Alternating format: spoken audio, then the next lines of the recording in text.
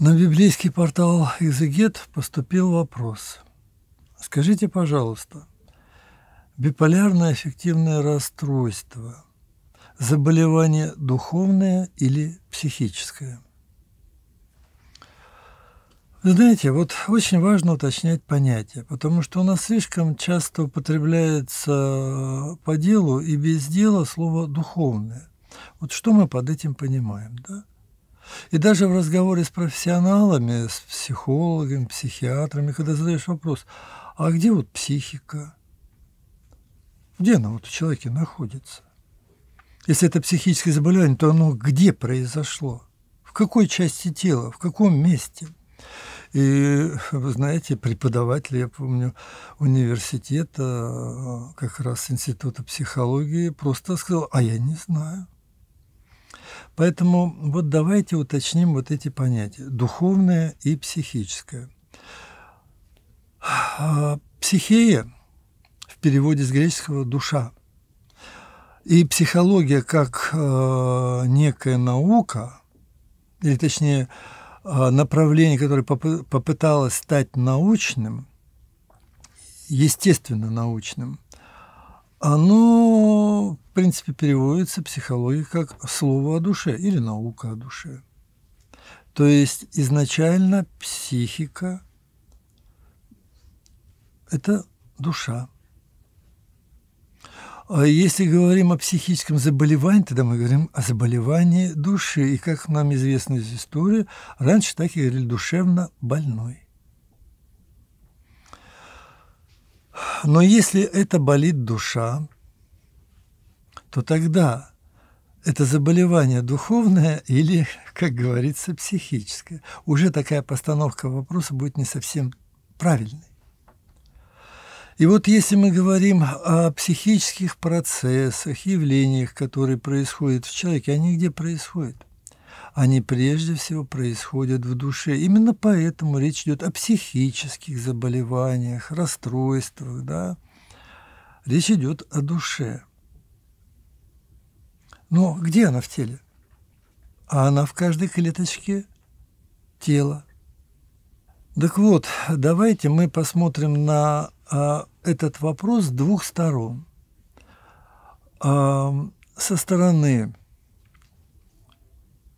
или, скажем так, в свете святоотеческого нашего учения о человеке, которого Бог сотворил. И с точки зрения, как на это смотрят э, медицина, психиатры, психотерапевты, в целом врачи. Что изучает медицина? Она изучает, в принципе, какие э, симптомы у человека проявляются. Вот когда определяют э, диагноз, да, врачи слушают человека, что он им рассказывает. Они проводят с ним тестирование определенное, да, то есть идет некое обследование, в том числе тела. Снимается энцефалограмма, делается компьютерная томография и так далее. То есть применяются те инструменты, которые может что-то замерить в теле. Мы сдаем анализ биохи, биохи, э, биохимический, да, э, как, что там у нас с кровью и так далее, и так далее, и так далее. То есть а медицина определяет изменения биохимических в целом процессов, происходящих в теле – но она начинает искать то, о чем говорит человек. Если он говорит, душа болит, психиатр будет изучать, что у него с психикой, э, прежде всего в мозгах. И вот так медицина выстроила классификацию болезней международную, да, и она все время меняется. Теперь уже с этого года в нашей стране вводится в действие постепенно, поэтапно международная классификация болезней под номером 11. Вы слышите? Уже 11. То есть эта классификация все время меняется. Меняются наименования, какие-то болезни уже не считаются болезнями. Ну, например, если раньше э, педофилия э, или другие извращения считались психическим заболеванием, теперь говорят, нет, это не заболевание, это норма. Это просто другая сексуальная ориентация. И так далее, и так далее. Даже педофилия уже сейчас просто начала, американская ассоциация психологов, э, она уже говорит о том, что нет, это не заболевание, это нормально. Тем более, если это по согласию обеих сторон. Содом и Гамора, да, бесовская. Поэтому э, медицина, психология смотрит э, на то, что в человеке не так, как смотрит святоотеческое учение. И поэтому медицина больше, да, говорит, она говорит просто о заболеваниях. Это, говорит, психическая болезнь. Так они решили это называть. Ну, я говорю, даже раньше назывались эти люди душевно больными. И больницы были для душевно больных. Итак, подводим итог первой части. Психическое ли это заболевание? Да, психическое заболевание с точки зрения МКБ 10 или 11. То есть это в человеке нарушены биохимические процессы, и поэтому вот э, у него теперь проявляются такие вот симптомы. То он в манийной стадии, то его куда-то, как в народе говорят, несет, он увлекается какими-то идеями, вот он, сломя голову, не отдавая даже отчет себе, не анализируя, куда его несет, его заносит в конечном итоге в ложную цель. И когда он это осознает, он впадает во что? Когда все сорвалось, все не так, как он думал, он впадает в депрессию. Что делают с этим врачи? Когда они увидели, что человек то в одном состоянии, потом бах, в один момент попал в другое, потом вроде он так и справляется, но исправляется с помощью чего? Лекарств, которые ему назначает врач-психиатр – когда он в депрессии, ему назначают антидепрессанты, нейролептики и другие лекарства, которые врач сочтет нужным. Назначается психотерапия, то есть не фармакотерапия, а терапия ну, вот такими психотерапевтическими э, технологиями. Словом, одним, как говорится, техникой. А когда вот он вроде бы поправился, он уже выходит из депрессии, он вдруг неожиданно проскакивает вот эту, выражусь военным языком, как военный, нейтральную полосу и быстро уходит в манию. Его опять, у него куча энергии, у него этого всего много, его несет опять. И вот поэтому называется биполярная, да, то есть э, би – это два, да, то есть то в одном состоянии, то в другом. Но почему вот это в нем все происходит? что врачам приходится применять таблетки, то тормозящие его э, центральную нервную систему, то есть замедлять процессы, происходящие э, в его теле, то наоборот ускорять, чтобы выводить его из депрессии. Почему это все с человеком произошло? Почему он заболел биполярным аффективным расстройством? Ведь это не может случиться сразу в один момент. Прежде чем ему, установят такой диагноз, должно пройти много событий, и даже не один раз побывать в психиатре, у психиатра, скажем, или даже в больнице, чтобы ему поставили такой диагноз. И вот давайте теперь посмотрим с точки зрения святоотеческого нашего учения, то есть духовным зрением потому что Бог есть Дух, и святоотеческое учение – это богодухновенное учение. И наши святые – это носители Духа Святого. Они зрят в человека не своими собственными глазами, не своим собственным дебелым, как они сами выражаются умом, а Божьим.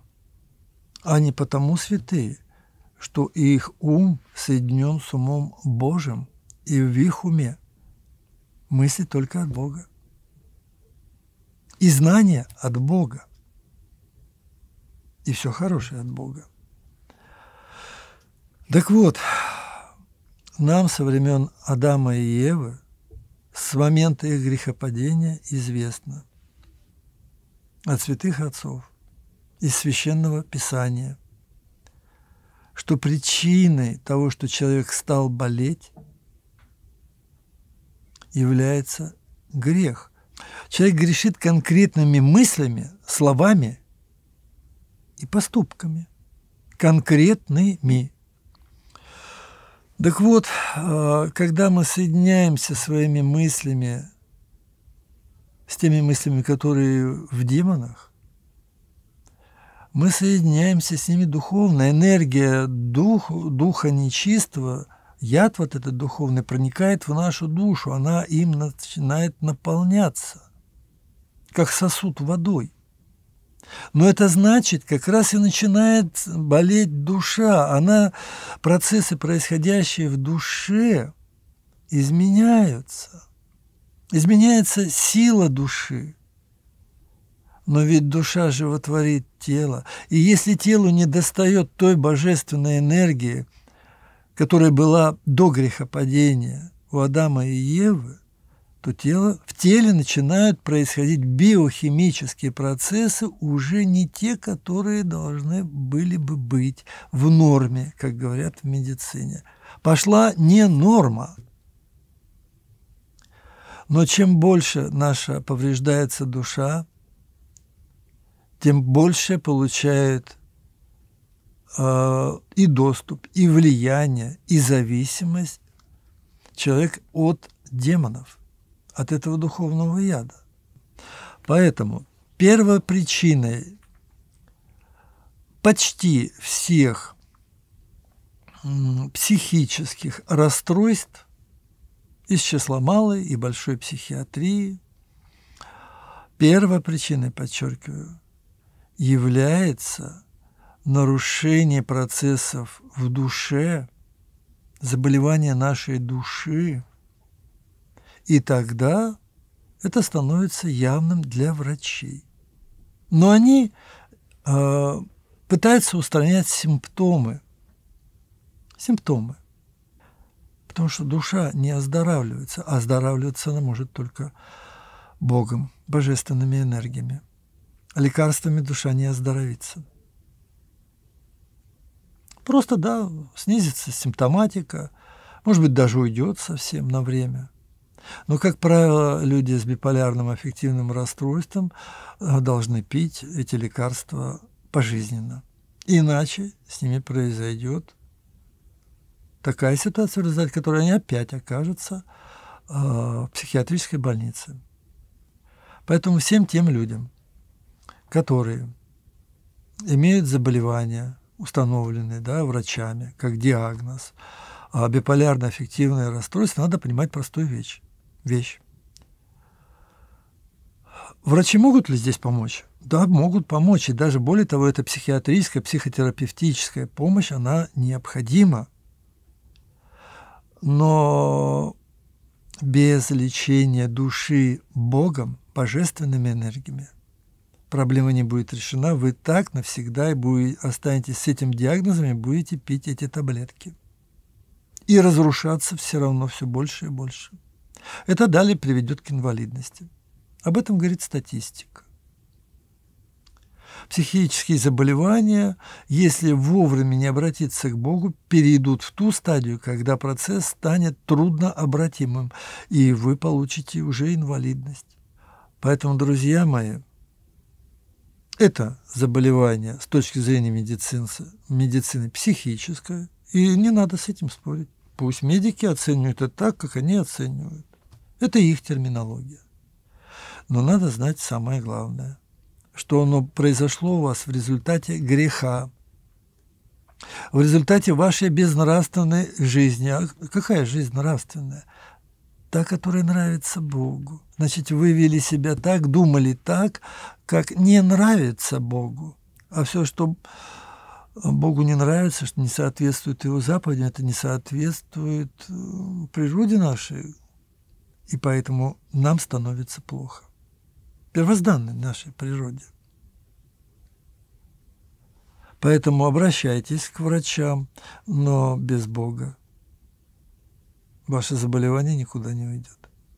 Идите вы в храм, к Богу, подружитесь с Богом, не отказывайтесь от врачебной помощи, и все наладится. Душа окрепнет, и вам перестанут нужны быть лекарства. Это произойдет не сразу, со временем, но это произойдет при вашем неотступном а, следовании вот тому, о чем нам говорит наше святоотеческое учение. Внеси свой вклад, оцени, подпишись и поделись этим видео.